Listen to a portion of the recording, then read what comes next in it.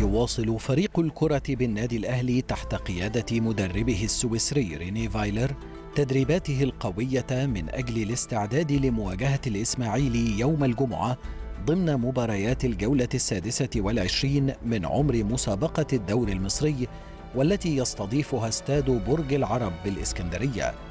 وحرص المدرب السويسري خلال التدريبات الأخيرة على منح لاعبيه مزيدا من النصائح والتعليمات لتصحيح السلبيات التي ظهرت في المباريات الأخيرة لتداركها وعدم تكرارها في مباراة الدراويش التي يسعى المارد الأحمر للفوز بها من أجل قطع خطوة هامة نحو التتويج بلقب الدوري رقم 42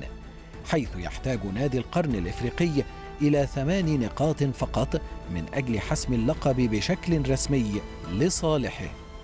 ويسعى فايلر ولاعبوه للتتويج بدرع الدوري مبكرا من أجل منح العديد من اللاعبين راحة في باقي المباريات التي تلعب بشكل مضغوط للغاية عقب استئناف النشاط الكروي بعد توقف كورونا ليتم تجهيز الفريق بالشكل الأمثل لبطولة دوري أبطال إفريقيا.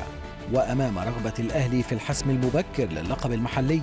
كان العمل على قدم وساق في تدريبات الفريق والمحاضرات الفنية ليكون الجميع جاهزا بالشكل الأمثل لمواجهة الدراويش والتي دائما ما تكون قوية وتحمل ندية كبيرة بين طياتها.